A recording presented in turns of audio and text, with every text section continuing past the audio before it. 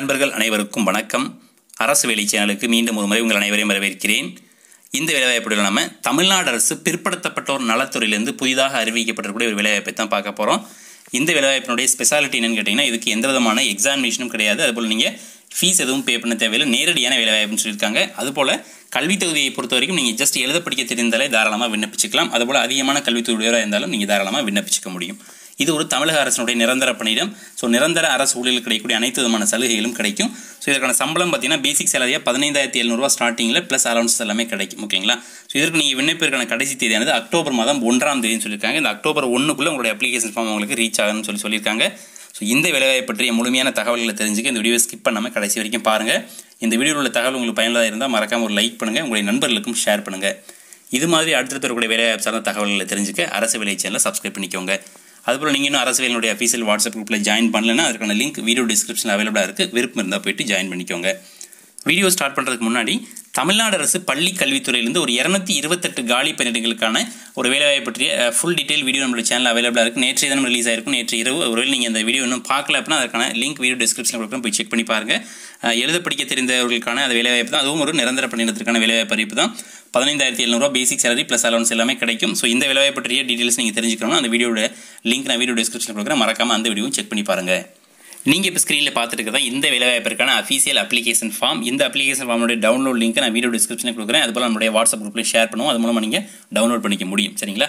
மாவட்ட பிற்படுத்தப்பட்டோர் மற்றும் சிறுபான்மையினர் நல அலுவலகத்திலேருந்து அந்த வேலைவாய்ப்பு அறிவிப்பு இருக்குது இந்த வேலைவாய்ப்பு விண்ணப்பத்தில் வந்துட்டு உங்களுக்கு தேவையான விவரங்கள் அனைத்துமே ஃபில்அப் பண்ணணும். விண்ணப்ப எண் அப்படின்றது நீங்கள் எதுவும் ஃபில்அப் பண்ண தேவையில்லை. ரைட் சைடில் உங்களுக்கு ரீசெண்ட் பாஸ்போர்ட் சைஸ் ஃபோட்டோகிராஃபை கண்டிப்பாக ஓட்டணும் ஸோ தேவைப்பட்டால் செல்ஃப் அட்டஸ்டேஷன் கூட நீங்கள் பண்ணிக்க முடியும். சரிங்களா? அடுத்த உங்களுடைய எந்த பணியிடத்துக்கு விண்ணப்பிக்கிறீங்க அப்படின்றத மென்ஷன் பண்ணணும். பணி பதவியினுடைய பெயரை பொறுத்த வரைக்கும் சமையலர் சரிங்களா? சமையலர் ஆண் பெண் ரெண்டு பேருக்கும் விண்ணப்பிக்க முடியும். ஸோ விண்ணப்பதனுடைய பெயர் உங்களுடைய பிறந்த தேதி நாள் மாதம் ஆண்டு எல்லாமே கரெக்டாக மென்ஷன் பண்ணணும். ஒன்று ஏழு ரெண்டாயிரத்தி இருபது அன்றைய தேதி அடிப்பில் நீங்கள் அதை கரெக்டாக மென்ஷன் பண்ணணும். பிறந்த தேதி அதுக்கப்புறம் வயது இந்த இடத்துல கரெக்டாக மென்ஷன் பண்ணணும். ஓகேங்களா தென் உங்களுடைய தந்தை பெயர் பெண்களாக இருந்தீங்கன்னா கணவர் பெயர் எழுதணும். அடுத்து உங்களுடைய பாலினம் இனம் எந்த கம்யூனிட்டியில் வருவீங்க? அதற்கான ஜாதி உட்பிரிவுன்னு கேட்டிருக்காங்க. மதம் மற்றும் ஜாதி உட்பிரிவுன்னு கேட்டிருக்காங்க. அதையும் இந்த இடத்துல மென்ஷன் பண்ணணும். தென் ஜாதி சான்று எண் மற்றும் வழங்கப்பட்ட தேதி. உங்களுடைய கம்யூனிட்டி சர்டிஃபிகேட்டில் டாப்பில் எழுதியிருக்கும் அந்த ஜாதி சான்றிதழ் நிறைய நண்பர்கள் இந்த அப்ளிகேஷன் ஃபில்அப் பண்ணுற டவுட்ஸ்னு சொல்கிறாங்க ஸோ அதனால் ஒரு முறை கொஞ்சம் பொறுமையாகவே சொல்லிடுறேன். ஓகேங்களா கொஞ்சம் வீடியோ லென்த்தானாலும் கொஞ்சம் பொறுமையாக கேளுங்க. இதில் வந்துட்டு ஜாதி சான்றிதழ் எண் அப்படின்றத கண்டிப்பாக மென்ஷன் பண்ணுங்கள் நாள் எந்த தேதியில் இஷ்யூ பண்ணியிருக்காங்க அது. அதுக்கப்புறமா வந்துட்டு வழங்கப்பட்ட அலுவலகமும் கேட்டிருக்காங்க எட்டாவது காலமில். ஸோ எந்த அலுவலகத்தை வாங்கி அதாவது தாசில்தார் அலுவலகம் இருக்கும். அல்லது ஜோனல் டெப்டி தாசில்தார் போட்டிருப்பாங்க. அது யாரோ அவங்களுடைய இதை மென்ஷன் பண்ண அந்த இடத்துல தென் கல்வி தகுதி. படித்ததில் அதிகபட்சம்னு கேட்டிருக்காங்க. நீங்கள் வந்துட்டு இந்த வேலைவாய்ப்பு பொறுத்த வரைக்கும் எழுத படிக்க தெரிந்தாலே போதுமானது. ஆனாலும் படித்ததில் அதிகபட்சம் கேட்டுக்கிறனால நீங்கள் ஹையர் குவாலிஃபிகேஷன் நீங்கள் இந்த இடத்துல மென்ஷன் பண்ணணும்னாலும் நீங்கள் பண்ணிக்கலாம். அதனால் அது வந்துட்டு அதனால் வந்துட்டு உங்களை ரிஜெக்ட் பண்ணவோ அந்த மாதிரி எதுவும் பண்ண மாட்டாங்க. ஸோ அதனால் நீங்கள் மென்ஷன் பண்ணிக்கலாம். தென் வேலைவாய்ப்பு அலுவலகத்தில் பதிவு செய்திருந்தால் பதிவு எண் அந்த இடத்துல மென்ஷன் பண்ணணும். எந்த தேதியில் நீங்கள் பதிவு பண்ணீங்களோ அதையும் நீங்கள் மென்ஷன் பண்ணுங்கள் தென் சமையல் பணியில் முன் அனுபவம் உள்ளதா? ஆம் எனில் எவ்வளவு காலம்னு கேட்டிருக்காங்க? ஸோ இந்த பிழையை பொறுத்த வரைக்கும் சமையல் பணியில் முன் அனுபவம் கேட்பாங்க. ஸோ அதனால் நீங்கள் சமையல் பணியில் முன் அனுபவத்தில் ஆம்னே கொடுங்க.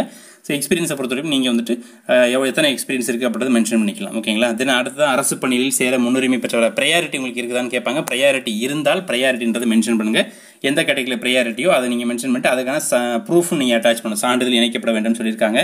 தென் அடுத்ததாக பதினான்காவது காலம் பார்த்தீங்கன்னா விண்ணப்பதாரர் மீது குற்றவியல் வழக்கு எதுவும் நிலுவையில் உள்ளதா அப்படின்றத மென்ஷன் பண்ணணும்.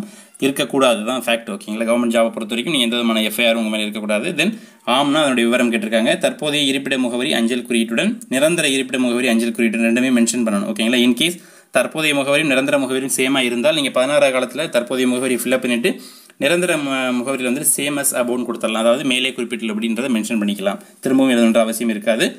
தென் குடும்ப அட்டை உங்களுடைய ஸ்மார்ட் கார்டு நம்பர் மென்ஷன் பண்ணுங்க. அடுத்தது ஆதார் எண் ஆளறி சான்றிதழ்காக கொடுத்துருக்காங்க. ஸோ கண்டிப்பாக ஆதார் இந்த நம்பர் மென்ஷன் பண்ணணும் இதுக்கெல்லாம் நீங்கள் ப்ரூஃபும் அட்டாச் பண்ணணும். என்னென்ன ப்ரூஃப் அட்டாச் பண்ணணும்னு கீழே கொடுத்துருக்காங்க பாருங்கள் கல்வி தகுதி சான்று மற்றும் வயது. நீங்கள் படித்ததில் அதிகபட்சம் நீங்கள் என்ன மென்ஷன் பண்ணுறீங்களோ அதற்கான கல்வி தகுதிக்கான சான்றிதழ். Self attested xerox copies attach பண்ணணும். அடுத்து உங்களுடைய ஏஜ் ப்ரூஃப் உங்களுடைய டேட் ஆஃப் பர்த் உங்களோட பிறந்த சர்டிஃபிகேட் இருந்துச்சுன்னா பிறந்த சர்டிஃபிகேட் அனுப்புங்க. அப்படி இல்லைன்னா டென்த் மார்க் ஸ்டேட்மெண்ட் இல்லைங்களா அதை அனுப்பிச்சிக்கலாம். அதாவது டேட் ஆஃப் பர்த்துக்காக நீங்கள் அனுப்பிச்சிக்க முடியும் ப்ரூஃபுக்காக தென் கம்யூனிட்டி சர்டிஃபிகேட் கண்டிப்பாக ஜெராக்ஸ் வைக்கணும். அடுத்த முன்னுரிமை சான்றிதழ் ப்ரையாரிட்டி இருந்ததுன்னா ப்ரையாரிட்டிக்கான சான்றிதழ் நீங்கள் கண்டிப்பாக வைக்கணும். இன்கேஸ் நீங்கள் எக்ஸ் சர்வீஸ் கேட்டகரியில் விண்ணப்பிக்கிறீங்கன்னா அதற்கான ப்ரையாரிட்டி அட்டாச் பண்ணணும்.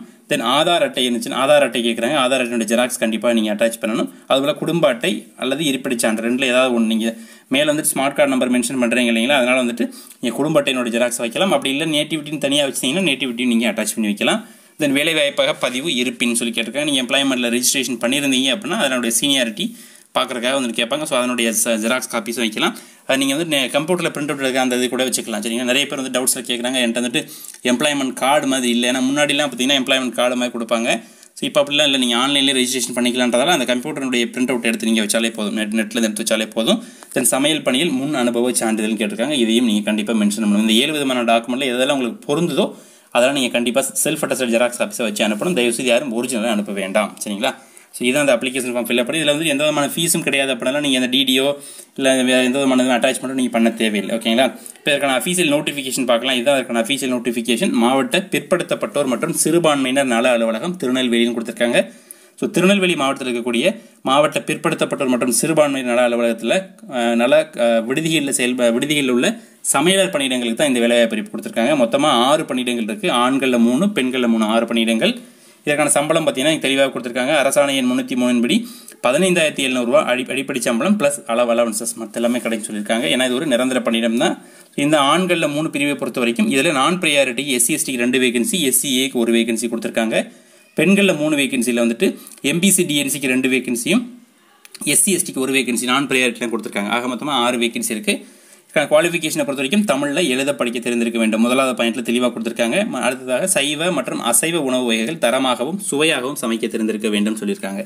அடுத்த வயது வரம்பை பொறுத்த வரைக்கும் ஒன்று ஏழு ரெண்டாயிரத்தி இருபது. இந்த ஒன்று ஏழு ரெண்டாயிரத்தி இருபது கட் ஆஃப் டேட் அந்த டேட்லேருந்து உங்களுடைய ஏஜை கால்குலேட் பண்ணுவாங்க. குறைந்தபட்சம் அனைத்து பிரிவினருக்குமே பதினெட்டு வயசு பூர்த்தியாக இருக்கணும். அதிகபட்சம் பொறுத்த வரைக்கும் எஸ்சி எஸ்டியாக இருந்தீங்கன்னா முப்பத்தி ஐந்து பிசி பிசிஎம் எம்பிசி அண்ட் டிஎன்சியாக இருந்தீங்கன்னா பதினெட்டுலேருந்து முப்பத்தி இரண்டு வயசு உள்ளவங்க விண்ணப்பிக்கலாம். அதர் கேட்டகரி அதாவது ஜென்ரல் அண்ட் யூஆர்னு சொல்லுவாங்களா அண்ட் ரிசர்வ் வரவங்க பதினெட்டுலேருந்து முப்பது வயசு உள்ளவங்க விண்ணப்பிச்சுக்க முடியும். சரிங்களா? ஸோ இது தவிர்த்து வந்துட்டு அரசு விதிமுறையில் அனுமதிக்கப்பட்டவாறு வயது வரம்பில் தளர்வு அளிக்கப்படும் சொல்லியிருக்காங்க. ஓகேங்களா? ஸோ இதுக்கு நீங்கள் விண்ணப்பிற்காக வந்துட்டு உங்களுடைய அப்ளிகேஷன் ஃபார்ம் இந்த கீழே கொடுத்துருக்கூடிய இந்த அப்ளிகேஷன் ஃபார்ம் மட்டும்னாலும் சரி அப்படி இல்லை நீங்கள் திருநெல்வேலி மாவட்ட பிற்படுத்தப்பட்டோர் மற்றும் சிறுபான்மை நல அலுவலகத்தில் நேரடியாகவும் நீங்கள் விண்ணப்பத்தை பெற முடியும். சரிங்களா? அதிலிருந்து பெற்று கரெக்டாக ஃபில்அப் பண்ணிட்டு தேவையான சான்றிதழினுடைய நகல்கள் நகல்கள் தெளிவாக கொடுத்துருக்க நகல்களை இணைத்து லேட்டஸ்ட் பாஸ்போர்ட் சைஸ் ஃபோட்டோகிராஃபில் அட்டாச் பண்ணணும். எல்லாத்தையுமே அட்டாச் பண்ணி நீங்கள் அனுப்ப வேண்டிய முகவரியை பொறுத்த வரைக்கும் மாவட்ட பிற்படுத்தப்பட்டோர் மற்றும் சிறுபான்மையினர் நல அலுவலகம் மாவட்ட ஆட்சியர் அலுவலக வளாகம் திருநெல்வேலின்னு சொல்லக்கூடிய அந்த முகவரிக்கு நீங்கள் அனுப்பணும். இந்த அட்ரஸ் வந்து நான் தெளிவாக கீழே டிஸ்கிரிப்ஷன் லிங்க்கில் அதில் ஒரு லிங்க் இருக்கும் அதில் போனீங்கன்னா தெளிவாக கொடுத்துருப்பேன். மாவட்ட பிற்படுத்தப்பட்டோர் மற்றும் சிறுபான்மையினர் நல அலுவலக அலுவலகம் மாவட்ட ஆட்சியர் அலுவலக வளாகம் திருநெல்வேலின்னு சொல்லணும். சரிங்களா? இங்கே அதாவது விண்ணப்பத்தில் முகவரி தவறாக இருந்தது அப்படின்னா வந்துட்டு அதில் சொல்லியிருக்காங்க தெளிவாக வந்துட்டு த தவறாக இருந்துச்சுன்னா வந்துட்டு நாங்கள் மென்ஷன் பண்ண அதாவது கன்சிடர் பண்ண மாட்டோன்ற விஷயத்தையும் சொல்லியிருக்காங்க. ஸோ கரெக்டாக நீங்கள் அப்ளை பண்ணுங்கள் சரிங்களா? இதுக்கு அப்ளை பண்ணுற லாஸ்ட் டேட்டு அக்டோபர் மாதம் ஒன்றாம் தேதி. அக்டோபர் ஒன்றுக்குள்ளே இந்த அப்ளிகேஷன் ஃபார்ம் உங்களுக்கு ரீச் ஆகும். லேட்டாக வரக்கூடிய விண்ணப்பங்களோ தவறுகள் இருக்கக்கூடிய விண்ணப்பங்களை கன்சிடர் பண்ண மாட்டோம்னு தெளிவாக சொல்லியிருக்காங்க. அது மட்டும் இல்லை இதே வேலைவாய்ப்பிற்கு ரெண்டாயிரத்தி பதினைந்து பதினாறு மற்றும் பதினெட்டு பத்தொம்போதுக்கு ஏற்கனவே இந்த ரெக்ரூட்மெண்ட் கால் ஃபார் பண்ணியிருந்தாங்க. அதுக்கு அப்ளை பண்ணிங்க அப்படின்னா அவங்களும் மீண்டும் அப்ளை பண்ணணும். ஏன்னா வந்துட்டு இந்த ரெண்டாயிரத்தி பதினஞ்சு பதினாறு பதினெட்டு பத்தொம்போது வரை உள்ள இந்த வேலைவாய்ப்பு அறிவிப்பில் ரத்து செய்யப்படுதுன்னு சொல்லி சொல்லியிருக்காங்க. சரிங்களா? அதனால் ஏற்கனவே விண்ணப்பிச்சு நீங்கள் இந்த வேலை வாய்ப்புக்காக காத்திருந்தீங்கன்னா நீங்கள் தயவுசெய்து அதை நீங்கள் எக்ஸ்பெக்ட் பண்ண வேண்டாம். நீங்கள் மீண்டும் ஒரு முறை இந்த முறை விண்ணப்பிச்சா தான் உங்களை கன்சிடர் பண்ணுவாங்க. ஏற்கனவே நாங்கள் விண்ணப்பிச்சிருக்கோம். அதனால் வந்துட்டு எங்களை கன்சிடர் பண்ணுவாங்கன்னு கேட்டால் கண்டிப்பாக கிடையாதுன்றது மென்ஷன் பண்ணியிருக்காங்க. ஸோ யாராக இருந்தாலும் ஃப்ரெஷ்ஷாக அப்ளை பண்ணணும். சரிங்களா? இதுக்கு வந்து ஃபீஸ் தான் கிடையாது. நீங்கள் அப்ளிகேஷன் வந்து சென்ட் பண்ண போகிறீங்க ஸோ மீண்டும் ஒரு முறை சென்ட் பண்ணி வைங்க. ஓகேங்களா இதுதான் வந்துட்டு இந்த வேலை வாய்ப்புக்கான அறிவிப்பு. இதை பொறுத்த வரைக்கும் எந்த இடத்துலையுமே திருநெல்வேலி மாவட்டத்தில் உள்ளவங்க தான் விண்ணப்பிக்கணும் அப்படின்ற மாதிரி எதுவுமே சொல்லப்படலை சரிங்களா? இது மாவட்ட திருநெல்வேலி மாவட்டத்தில் இருக்கக்கூடிய இந்த ஒரு விடுதிகளில் வேலைவாய்ப்பு இருக்குமே தவிர திருநெல்வேலி மாவட்டத்தை சேர்ந்தவங்க தான் விண்ணப்பிக்கணுன்ற மாதிரி எந்த இடத்துலையுமே மென்ஷன் பண்ணலை. அதனால் வந்துட்டு நீங்கள் மற்ற மாவட்டத்தை சேர்ந்தவங்களும் விருப்பமாக தான் விண்ணப்பிச்சிக்க முடியும் சரிங்களா? ஸோ இதுதான் இந்த வேலையை பற்றிய முழுமையான தகவல். ஏதாவது டவுட்ஸ் இருந்துச்சு அப்படின்னா கமெண்ட் பண்ணுங்கள் கண்டிப்பாக உங்களுக்கு ஆன்சர் பண்ணுறேன் அதுபோல் இந்த வீடியோவில் உள்ள தகவல் உங்களுக்கு பயனுள்ளதாக இருந்தால் மறக்காமல் ஒரு லைக் பண்ணுங்கள் இந்த வீடியோவும் முடிஞ்ச வரைக்கும் அதிக அளவுக்கு உங்கள் நண்பர்களோட ஷேர் பண்ணுங்கள் இது மாதிரி அடுத்தடுத்த இருக்கக்கூடிய வேலை சார்ந்த தகவலில் தெரிஞ்சுக்க அரசு வேலை சேனலை சப்ஸ்கிரைப் பண்ணிக்கோங்க. மீண்டும் ஒரு பயனுள்ள வேலைவாய்ப்பில் உங்களையும் சந்திக்கிறேன். அதுவரை அனைவருக்கும் நன்றி.